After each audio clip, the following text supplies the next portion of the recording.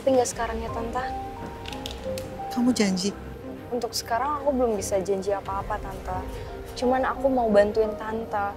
Karena Tante juga bundanya Raya, adik kandung aku.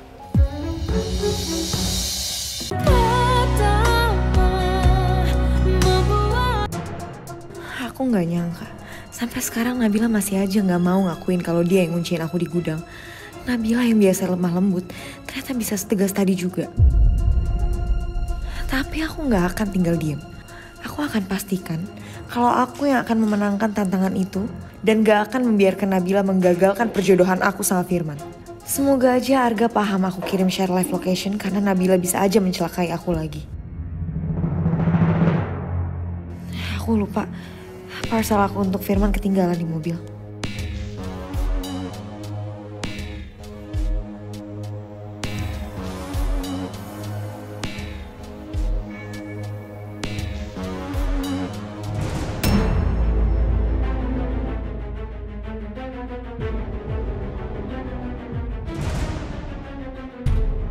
Asik,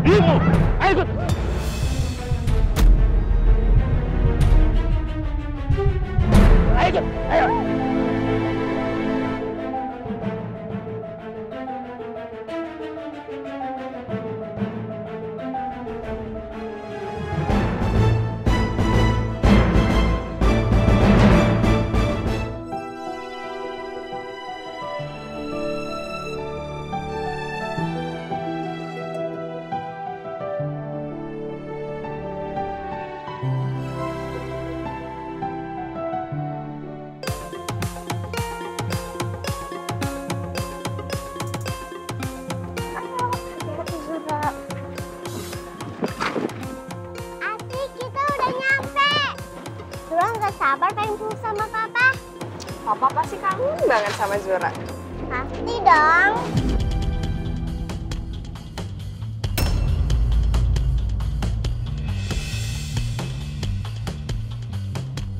Kak, ada buah apel.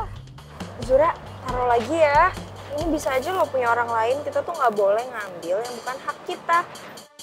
Zura nggak ambil milik orang, Kak. Tapi ini kan dibuang. Kata papa, kita nggak boleh buang makanan. Mubazir, dosa. Lagian apelnya masih bagus, masih bisa dimakan. Ya udah terserah deh. Jadi Zura boleh ambil, Kak. Zura kan suka apel sama kayak papa.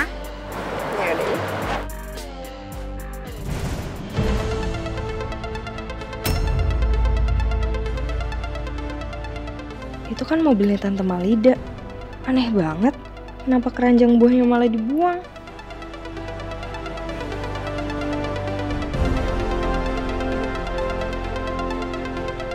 Ayo, Kak, masuk.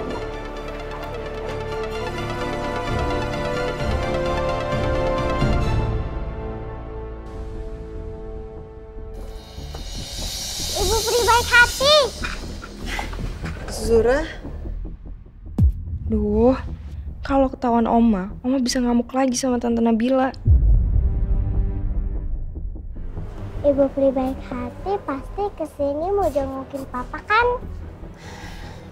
katanya papanya Zura udah sadar ya? Iya, Zura seneng deh. Ayo kita masuk bareng-bareng. Zura kenapa sih pakai ngajakin bareng? Gak bisa, gue harus bicara sama Tante Nabila. Ah, uh, Zura sebentar. Nabila, aku boleh ngomong sebentar nggak sama Tante? Ada hal penting yang harus aku sampaikan. Zura, Zura tunggu di sini dulu ya. Kamaura sama Ibu Pri hati mau ngobrol sebentar. Sambil nunggu, nih main game aja. Oke? Oke. Hmm.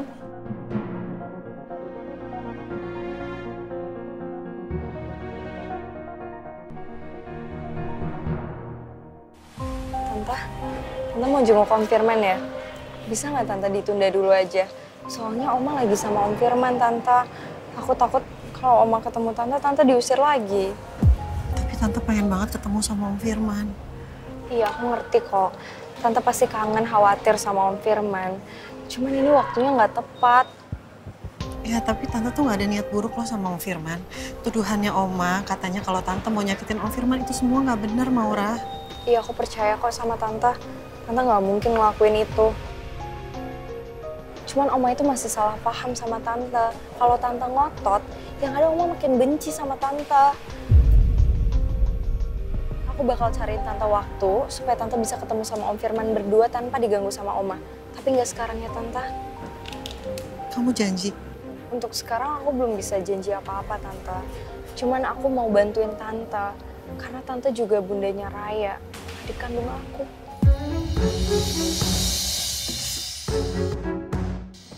Seneng banget dengernya Maura. Itu artinya kamu udah anggap Raya sebagai adik kamu? Uh, tapi hal ini jangan sampai Raya atau Oma tahu ya tante. Posisi aku tuh lagi serba salah. Iya, Tante ngerti. Kamu udah nganggep Raya sebagai adik kamu aja. Tante bersyukur banget. Uh, tante maaf. Jangan peluk aku ya tante. Ini nanti kalau Oma lihat, Oma malah salah paham lagi sama aku. Yaudah, kalau gitu aku masuk duluan ya tante. Assalamualaikum. Waalaikumsalam. Zura, kita masuk duluan yuk. Ibu Pri baik hati lagi ada urusan. Udah. Say bye. Hai. Dah, Zura. Kasihan Maura. Dia terjebak di posisi yang gak enak antara mobil Raya atau omanya. Kalau aja Raya tahu Maura udah nerima dia, Raya pasti bakalan seneng banget.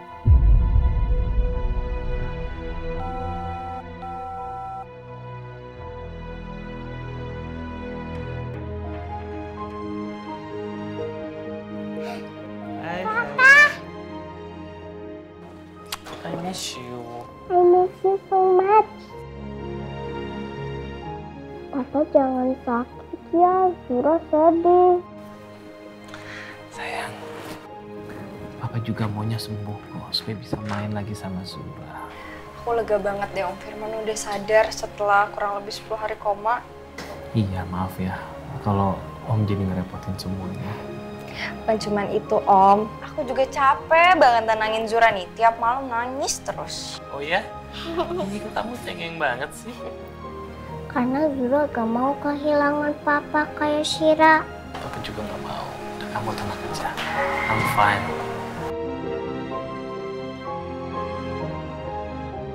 Karena Zura sayang banget sama papa. Eh, aduh sayang, Papa jadi susah nafas ini. Zura, kalau peluk papa jangan kenceng-kenceng gitu. Kasihan papa, papa baru siuman loh. I'm sorry, Pa. Zura kenapa seneng? Oke sayang, Karena Zura bisa ngobrol lagi sama papa. Papa juga.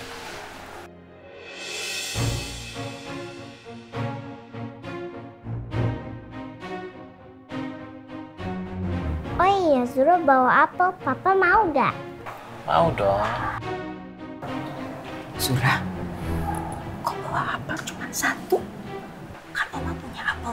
Dalam kulkas. Karena itu kesukaan papa sama kesukaan Zura. Malu ah, bawanya cuma satu. Tapi Zura bukan bawa dari rumah, Oma. Nah, bawa dari mana? Tadi Zura nemu di parkiran rumah sakit. Parkiran rumah sakit. Iya Oma, tadi Zura nemuin deket mobilnya Tante Malida. Aneh banget kan Tante Malida buang keranjang buahnya deket mobilnya. Padahal tadi Malida telepon bilangnya sudah ada di parkiran. Dia ketinggalan keranjang buah di mobil. Tapi kenapa sampai sekarang belum ke sini? Eh, Sebentar ya, sebentar.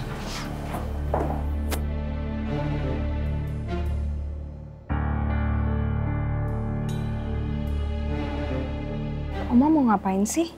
Kenapa muka Oma jadi khawatir banget? Jangan-jangan ada hubungannya sama Tante Malida?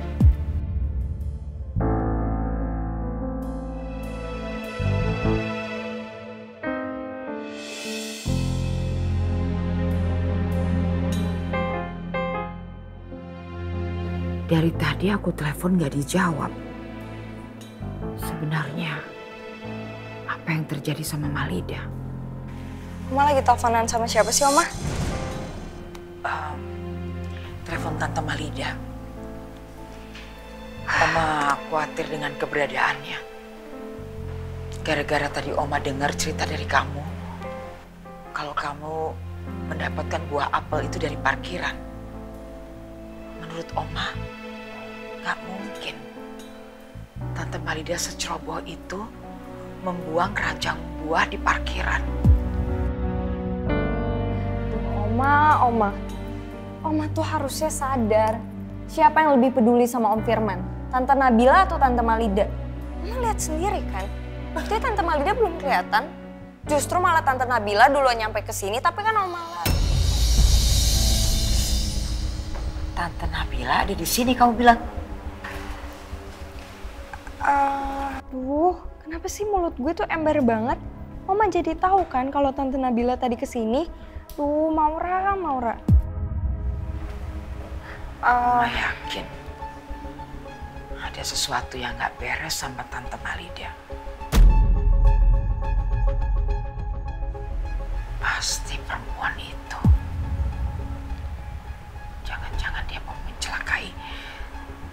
Malida. Oma, lu mau ke mana, Oma? Ini gara-gara gue keceplosan nih. Oma jadi suzon lagi kan sama Tante Nabila.